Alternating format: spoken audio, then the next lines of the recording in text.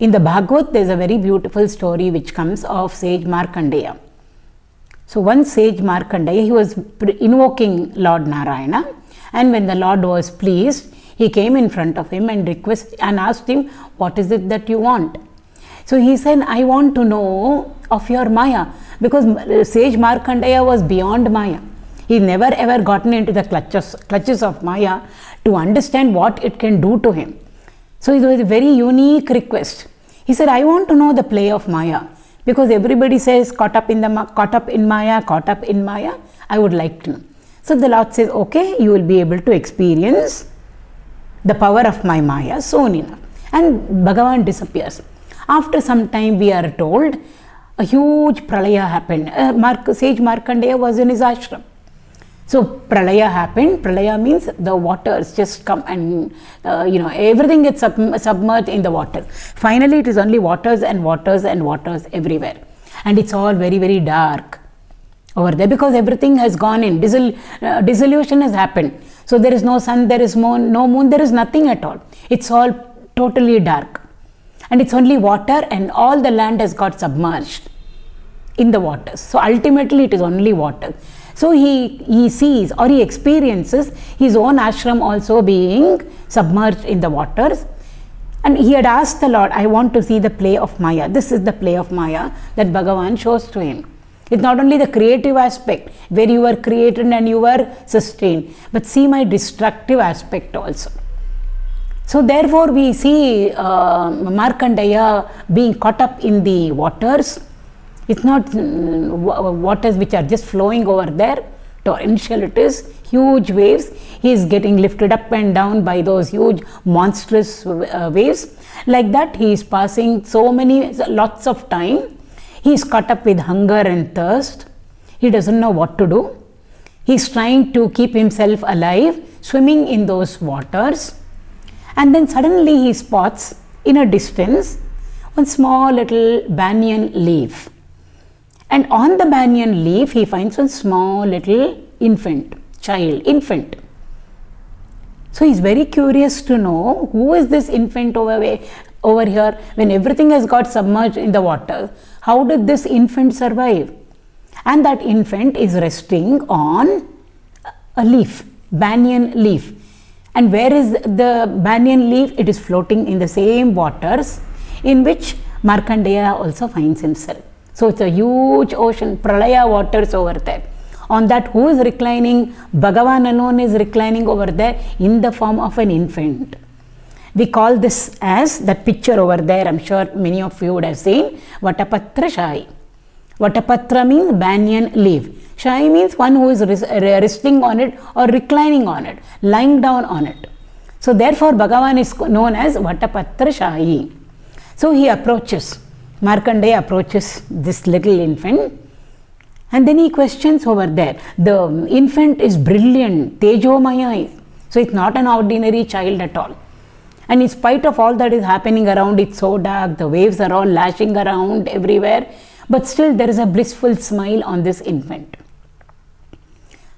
As though completely uh, unaware of what is going on around and about.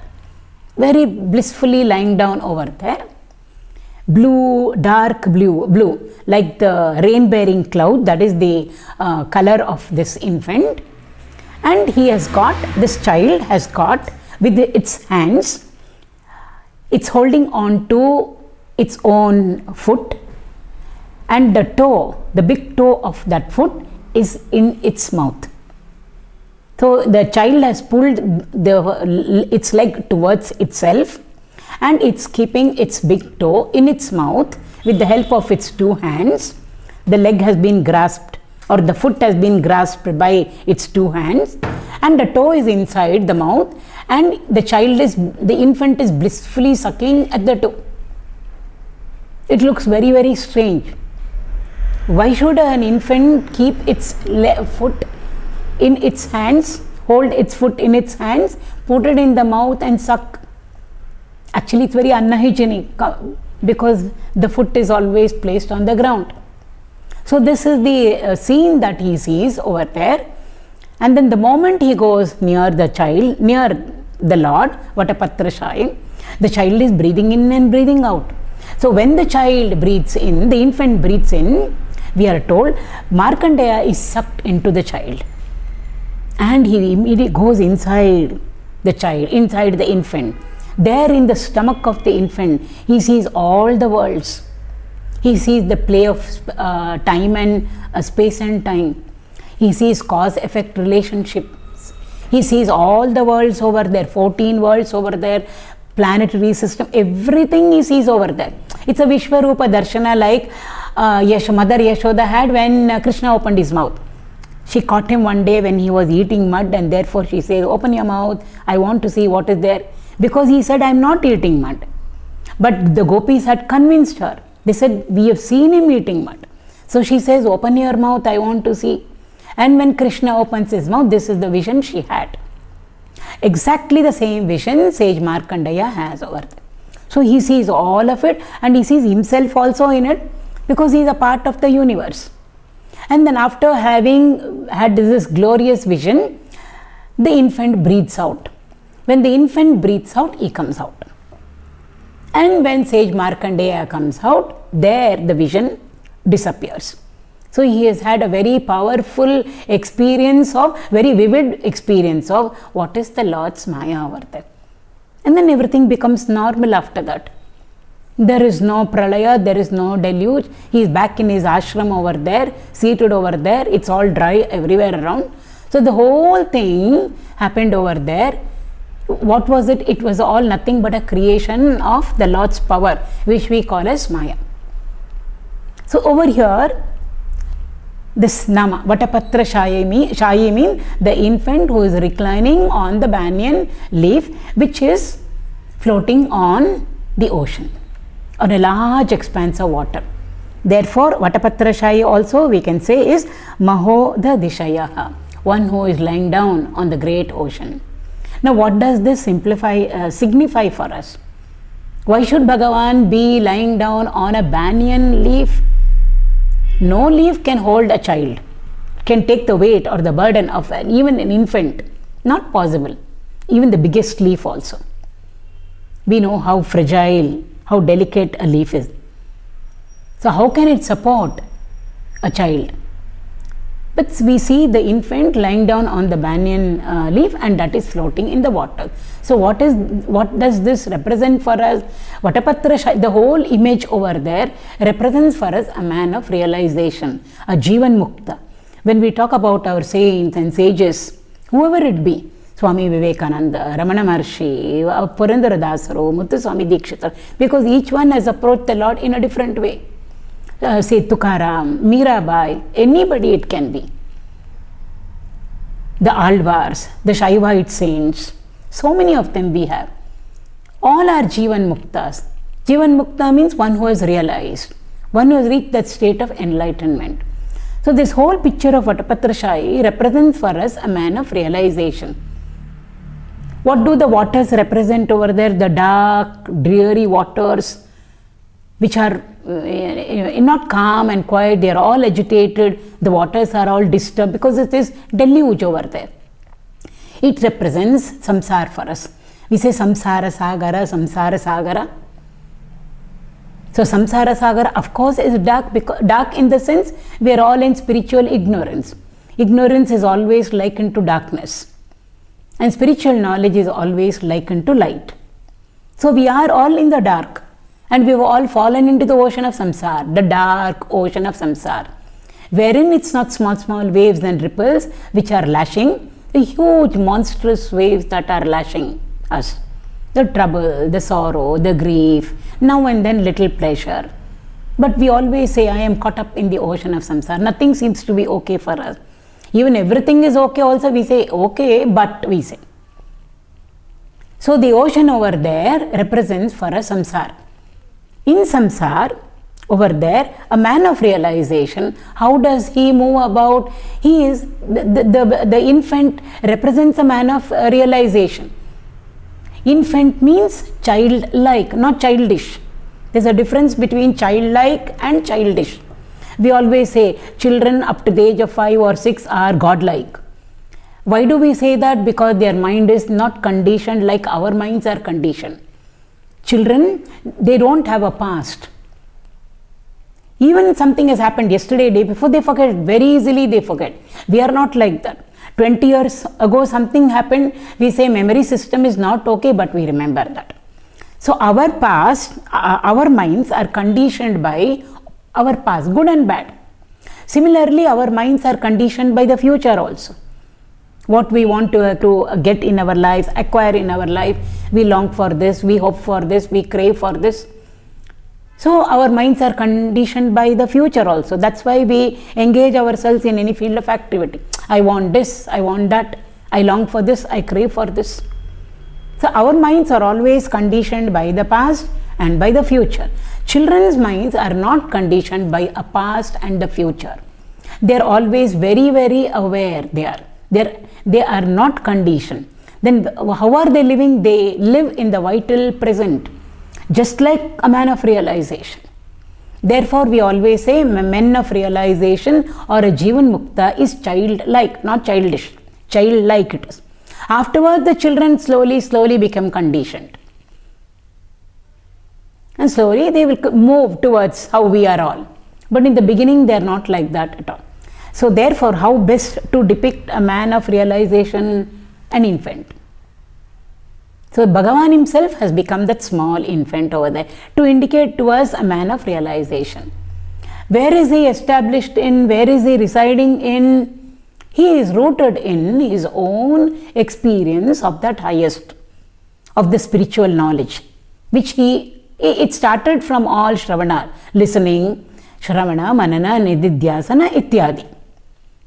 So even though a man of realize, uh, after realization, even though he is amidst us, a man of realize, Jivan Mukta, he is working for the welfare of the society, still there is no fall for him. He is well rooted in, well established in, centered in the spiritual knowledge. Never ever will he drift away from that at all. In the Bhagavad Gita, the term used is Sthita Prajna, second chapter. Arjuna asks Krishna, I want to know the characteristics of a Sthita Prajna. Sthita means to be rooted in, to be grounded in, to be centered in. In what? Prajna.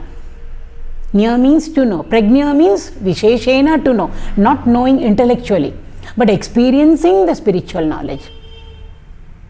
What are his characteristics?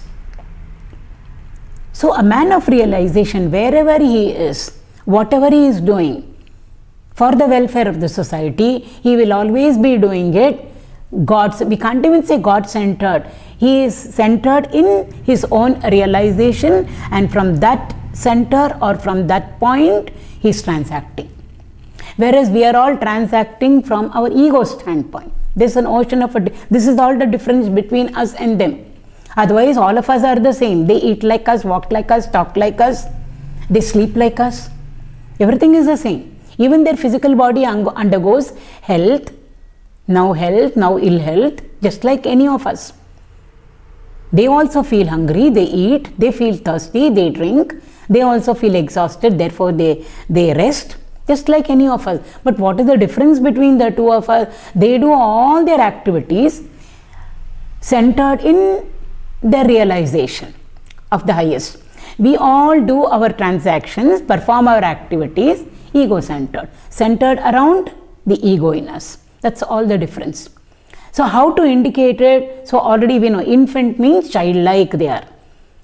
So, Krishna over there, over there in the form of an infant represents a Jivan Mukta lying down on the uh, banyan uh, leaf. The banyan leaf there represents knowledge.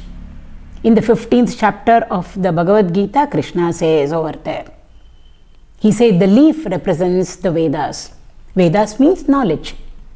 The various parts of the tree of an Ashwatta Vriksha over there is described for us. We won't go into the 15th chapter detail.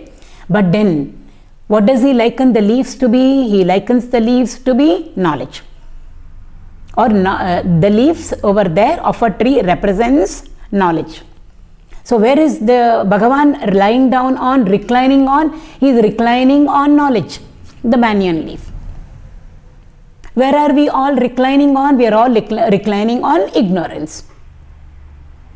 So therefore on the banyan leaf, uh, the Bhagavan is there in the form of a infant. And what is the color of the banyan leaf? Green. Green represents equilibrium. Green represents tranquility, calmness, composure, no agitation. Among the seven colors, over there, the entire seven colors beautifully explain to us the scheme of spiritual of our own, uh, our own spiritual journey. Starting from red, we should reach violet, Vibgyor.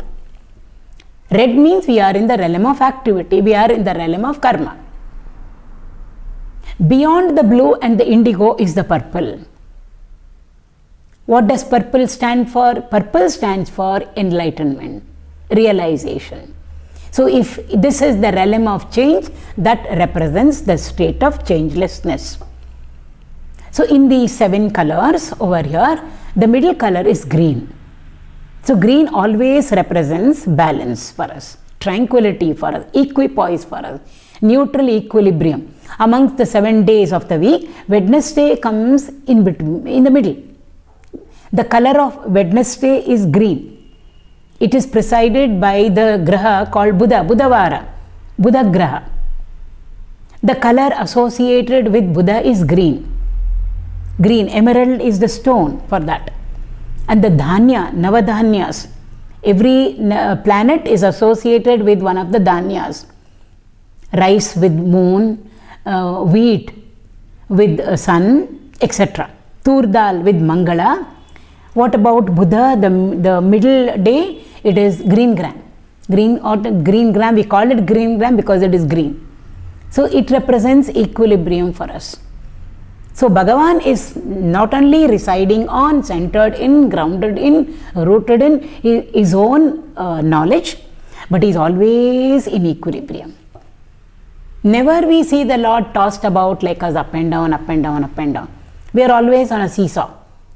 Either we are up or we are down. We are never in equilibrium. Bhagavan never loses his balance. Um, a master, a Jivan Mukta never loses his balance. So he is resting on the green banyan leaf over there. And what is he doing over there? He has caught hold of his foot. The feet are the ones on which we stand on. If our feet are not okay, we can't be well rooted and then only we can walk. So our whole weight, the body's physical weight, is taken on by the by our feet. So feet are those on which we rest. Similarly, a man of realization, what is he resting on? He is resting on knowledge. Therefore, the feet represent always knowledge. Whose feet? The Lord's feet. Who's a, a, a man of uh, realization? Jivan Mukta. Our gurus, our rishis. That is why we prostrate onto them. We do not know, we can't comprehend and apprehend what is the knowledge. What uh, they are they are a personification of spiritual knowledge. Uh, experience that moksha mukti walking on two feet. What it what it is we can't comprehend and apprehend. What is the knowledge that help them to experience? We do not know. First of all we have to understand it intellectually but what is the nearest that we can see with our two eyes physical eyes we can see their feet therefore their feet for us represents the spiritual knowledge and therefore we bow down to them or do our namaskar to them because in our head is our intellect. To that intellect, the knowledge must come. Where is the knowledge? It is at their feet. They are actually rooted on knowledge, but we can't see the knowledge on which they are rooted on, on which they are standing on, standing in quotes. But the nearest we can see is their feet over there. Therefore, we bring down our head or intellect in line with their feet so that due to resonance, if we can connect with them, the knowledge that is there will easily enter into our intellect. It's a very beautiful concept. So the feet or the foot represents knowledge. And amongst the, uh, the, uh, the, fingers of the foot also, each, each of our, of our foot has got five, just like our hands have got five fingers.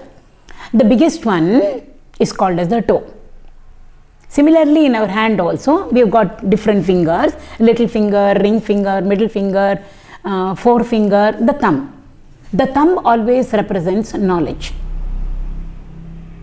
And thumb is equivalent to the big toe. So the big toe represents knowledge.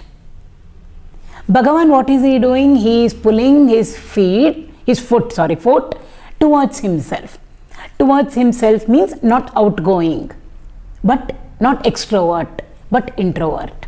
All our masters are introvert. Though they are, though they are transacting with us, they seem to be extroverted, but they are not extroverted because they are operating from the core which they have experienced within themselves.